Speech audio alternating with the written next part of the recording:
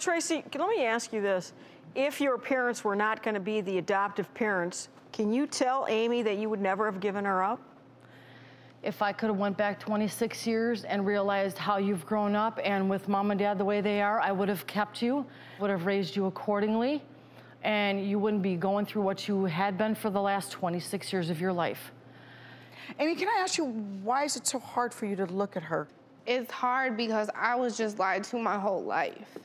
Like my Right. whole entire life, I've been lied to. Can't trust anybody because my family broke all of that. Right. Like my family is supposed to be my blood, like the person that has your back the most. We're talking about the foundation of trust that was built around your entire family. And it feels like not just a betrayal, but just like your world is shattered when every single person in the family was basically part of this entire lie. And they all kept up with it. So when they finally did tell you that you were adopted, what was the reason that was given to you? And did it make sense to you?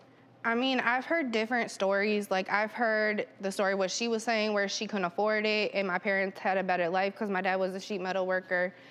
And then I've also heard they were they like to party. So it's like I don't really know the truth. Okay, the well, the facts. truth is standing right next to you. Yes. This is Face the Truth.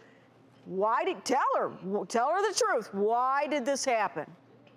The, real, the reason that I gave you up for adoption, but I wanted you to stay in the family was so you had a better life.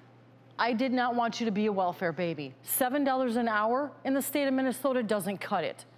I loved you with everything that I had. Tracy, do, are you ref- are you d- able to tell your daughter that the reason you gave her up had nothing to do with the partying?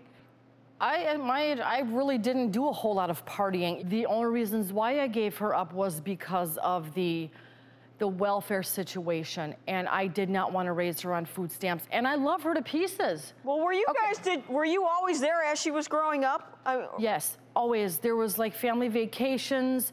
There were times where she would start inquiring about who I was. And I, I couldn't tell her anything. It was out of my hands. It was up to my mom and dad. And like the court said, I Were you gave up those parental rights. Or were you close as sisters? Like because We she were thought you were closer than my other sister and I were. Um, as That's she, not, that's not true. Oh. That's not true at Uh-oh. all. You, Oh. my mom and dad in the middle, and me over here by myself. They would. My dad always had. Growing up, we had a family night every single week where my dad would invite my sisters and my brother-in-laws over, and we would have a family dinner. Every time it was Tracy making fun of me because of my oh. size, because of everything, and I would run upstairs crying, screaming to my room.